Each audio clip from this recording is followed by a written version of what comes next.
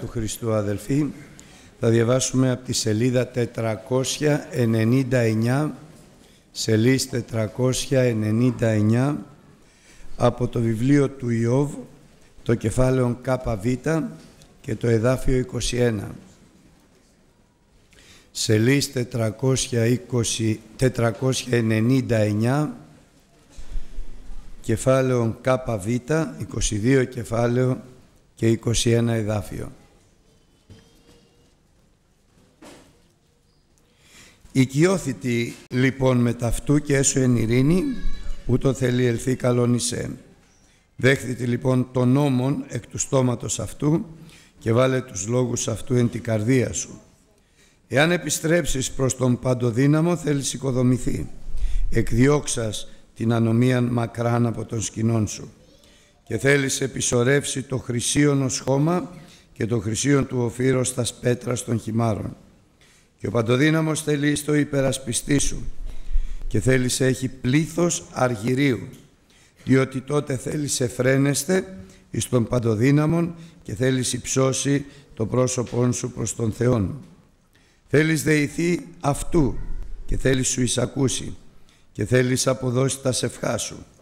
Και τότε, συγγνώμη, και ό,τι αποφασίσεις θα τορθούστε εισέ και το φως θέλει φέγγει επί τα σοδού σου όταν ταπεινωθητής, τότε θέλει υπή είναι ύψωσης, διότι θέλει σώσει τον κεφκυφώτα τους οφθαλμούς.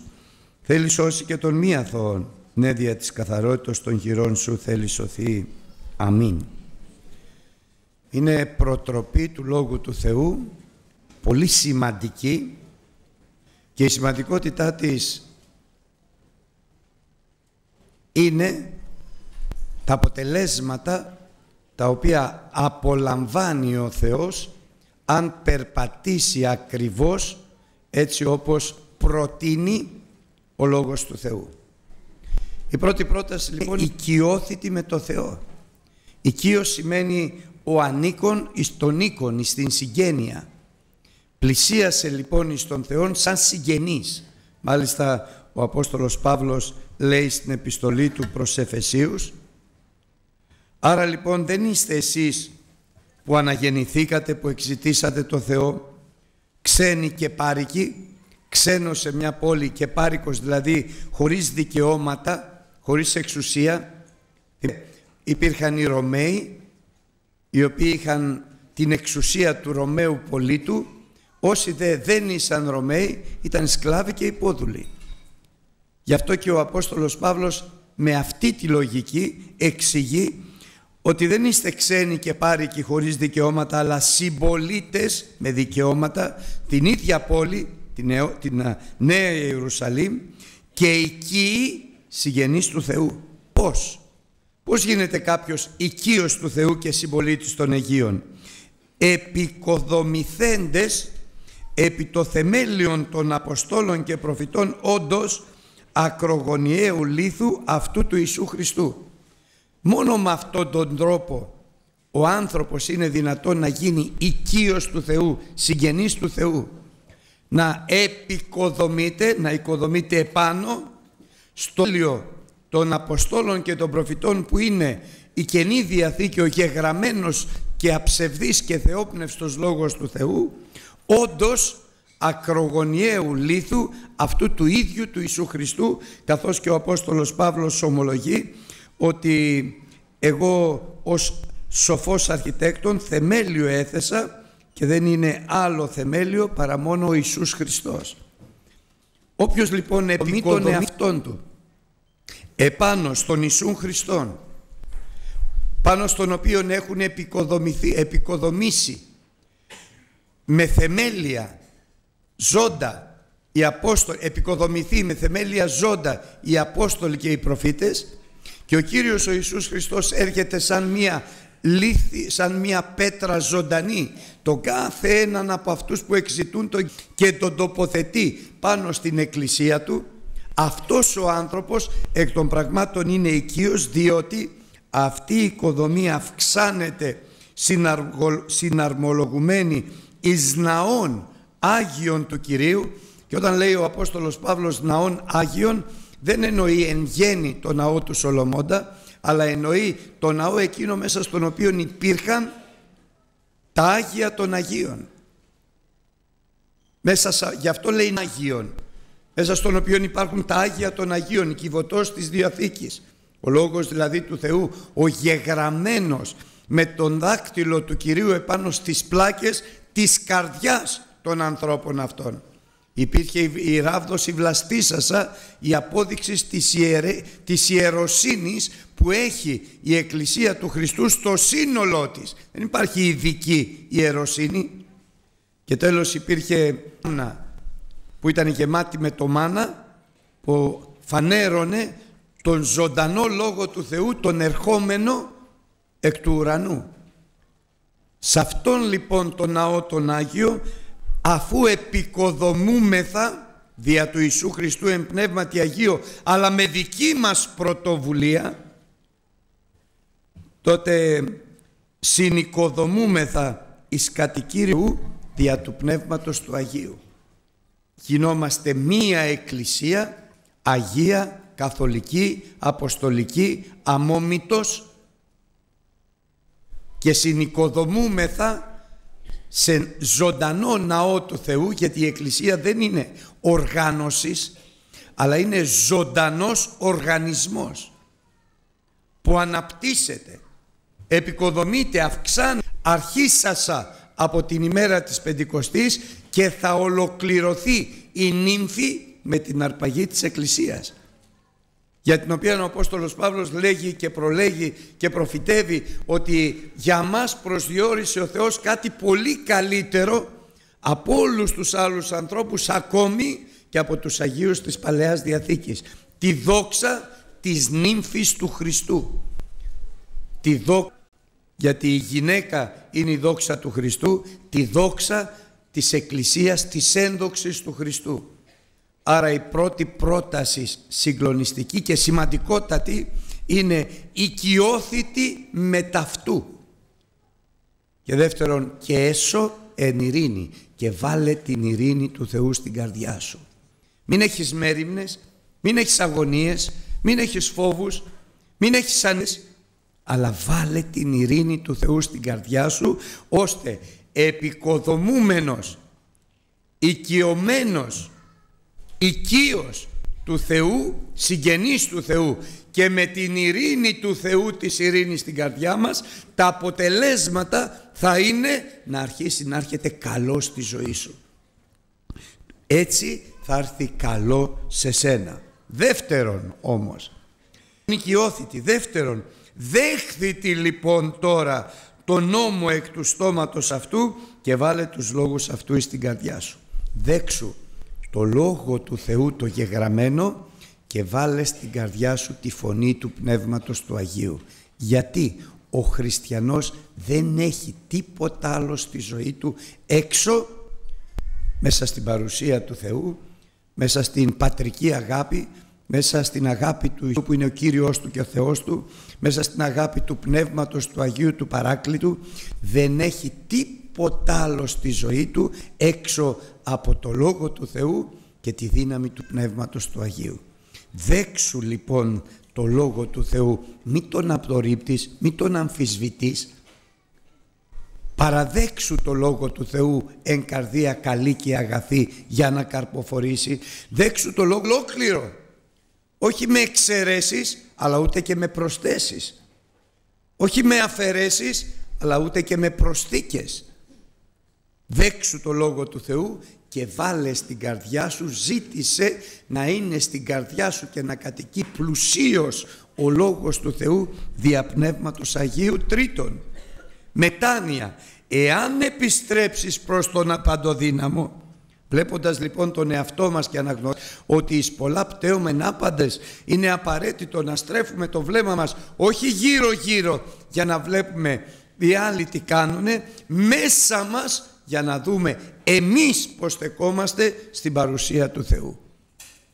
Εάν λοιπόν επιστρέψεις προς τον Κύριο, το βέβαιο είναι ότι θα ανοικοδομηθείς, θα ξαναχτιστείς, θα ανακαινιστείς, θα απολαμβάνεις όχι μόνο την παρουσία του Θεού, τη δόξα στη νέα οικοδομή της προσωπικής σου ζωής αλλά και της οικογενειακής σου ζωής αλλά και της εκκλησιαστικής ζωής αλλά και κάθε λεπτομέρεια της ζωής μας. Πότε όμως αφού μόνο εκδιώξεις την ανομία σου μακριά από τις σκηνές σου. Εάν λοιπόν μετανοήσεις, επιστρέψεις στο Θεό, ο Θεός θα να σε αμήσει, θα σε ανακαινήσει, θα κάνει νέα πράγματα στη ζωή σου. Θα κάνει ένδοξα πράγματα στη ζωή σου. Θα κάνει πράγματα που δεν μπορείς να τα φανταστείς στη ζωή σου την προσωπική. Θα κάνει διόρθωση. Θα κάνει αποκατάσταση. Θα κάνει ευλογία και θα δοξαστεί ο Χριστός. Επαναλαμβάνω, θα κάνει διόρθωση, αυτό θα πει ανοικοδό ανακαίνησης, διόρθωση των κακών κειμένων. Θα κάνει αποκατάσταση των αγαθών μέσα στη ζωή σου. Θα σε στηρίξει, θα σε στήσει, θα σε ευλογήσει και θα σε αυξήσει όπως θα δούμε παρακάτω. Ώστε, αλλά με την προϋπόθεση ότι εσύ θα εκδιώξεις από τη σκηνή σου κάθε ανομία.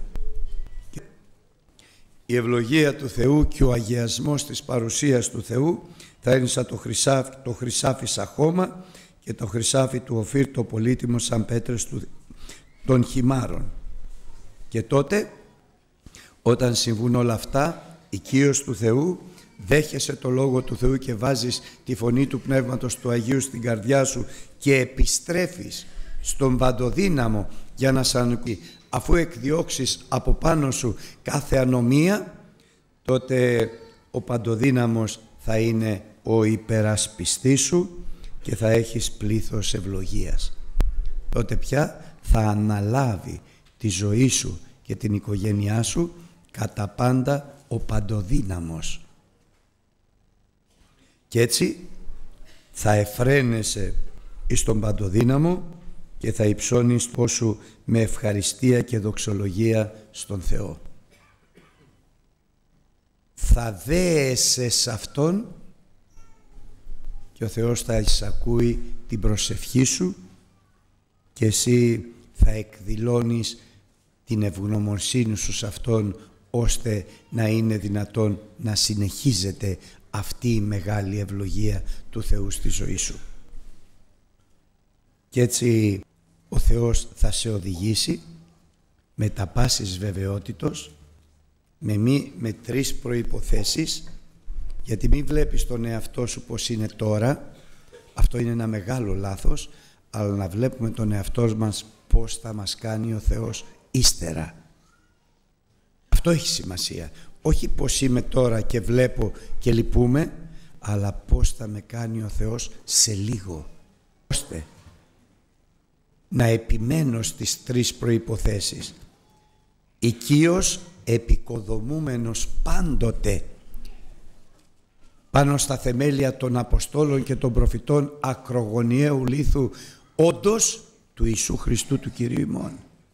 Δεύτερον, πάντοτε δεχόμενος με τα χαράς το Λόγο του Θεού χωρίς υπόκριση, χωρίς αμφισβήτηση, χωρίς δισταγμό. Ποτέ μην αφήσεις την καρδιά σου να πει ο Λόγος του Θεού δεν είναι για σένα. Ακριβώς για σένα είναι που σκέφτεσαι έτσι. Ακριβώς για σένα είναι. Γίνε λοιπόν Υιός του Θεού και να επικοδομήσει στα θεμέλια των προφητών και των Αποστόλων δέξου κατά πάντα το Λόγο του Θεού μέσα στην καρδιά σου και βάλε τα λόγια του Θεού στην καρδιά σου και επίστρεψον εξ όλης την καρδία σου στον Κύριο με μετάνοια με την πίστη και τη βεβαιότητα ότι θα σαν οικοδομήσει ο Θεός βεβαίως εκβάλλεις από τις σκηνές σου κάθε ανομία και τότε τη ζωή σου θα την πάρεις στα χέρια του ο Θεός. Κατά πάντα. Δεν θα νομίζεις ότι είσαι χριστιανός, θα είσαι αληθινά χριστιανός. Δεν θα περπατάς εν φαντασία πίστεως, αλλά θα περπατάς εν πνεύματι και αληθεία. Ώστε θα προσεύχεσαι και θα βλέπεις το Θεό να σ' ακούει και ό,τι αποφασίζεις ο Θεός θα το ευωδώνει και το φως του Κυρίου θα λάμπει σε κάθε πορεία σου. Και τότε έρχεται το κρίσιμο σημείο όταν η ευλογία θα είναι εμφανής στη ζωή σου υπάρχει ο κίνδυνος της υπερηφάνειας και υπάρχει η τέταρτη προτροπή του Θεού τότε ταπεινώσου τότε ταπεινώσου γενόμενος υπήκοος με απόφαση θανάτου ώστε ο Θεός να σε χρησιμοποιεί να σώζει τους συντετριμένους την καρδία τους πτωχούς τους εχμαλώτους και τους δεσμίους και να υπερβαίνει το Λόγο του ο Θεός μέσα από έναν τέτοιον δούλο ή δούλη σώζοντας και τον μη αθώο όχι εξαιτίας του, του μη αθώου ή του αγιασμού του μη αθώου αλλά εξαιτίας της καθαρότητας των χειρών σου. Ο Θεός δηλαδή όπως σώσει εμάς τους αμαρτωλούς χάριν του Χριστού έτσι και ο Χριστός θα ενεργεί στους αμαρτωλούς χάριν του ανθρώπου ο οποίος έχει περπατήσει και περπατάει ακριβώς στα βή περπάτησε ο Χριστός οικείος του Θεού πλησίον του Θεού δεχόμενος κατά πάντα το γεγραμμένο Λόγο του Θεού και ο Λόγος του Θεού να κατοικεί πλουσίως δια Πνεύματος Αγίου μέσα του συνεχόμενη και άμεση μετάνοια και επιστροφή ξαναχτίσιμο, ανακαίνιση, ανοικοδόμηση να, ε, να τακτοποιεί και να φροντίζει τα γκρεμίσματα και τα λάθη μας αφού βεβαίως προηγουμένως αποβάλουμε πάσαν ανομίαν από τη ζωή μας ώστε όταν θα έλθει σαν βεβαιωμένη συνέπεια της πορείας και της ζωής αυτής του χριστιανού ευλογία του Θεού τότε ο άνθρωπος του Θεού αναγνωρίζει ότι δεν είναι αυτός αλλά είναι η χάρη του Θεού η σωτήριος που διδάσκει μας να αρνηθούμε την ασέβεια και τις κοσμικές επιθυμίες και να περπατάμε δικαίως, αγίως και ευσεβώς μέσα σε αυτόν τον παρόντα αιώνα.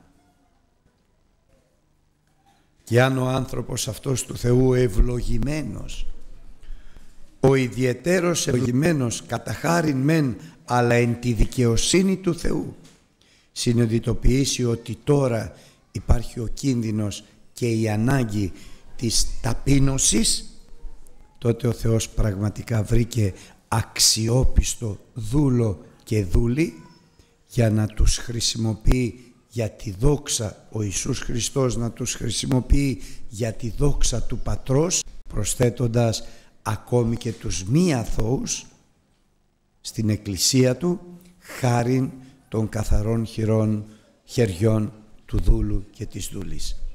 Είναι λοιπόν μια πρόσκληση αδελφοί αγαπητοί για αλλαγή πλεύσης, για αλλαγή πορείας. Μια πρόσκληση να πάρουμε σήμερα στερεά, να κάνουμε συνθήκη με το Θεό. Ο Θεός πάντοτε μας περιμένει να κάνουμε συνθήκη με το Θεό ώστε ο Θεός ευαρεστούμενος να εκπληρώσει χαρίζοντας να εκπληρώσει τις επαγγελίες Του χαρίζοντας εμάς τα καλύτερα και τα συνεχόμενα με τη σωτηρία μας που απολαύσαμε μας χαρίστηκε κατά χάριν δια της πίστεως από την αγάπη του Θεού Πατρός. Αμήν.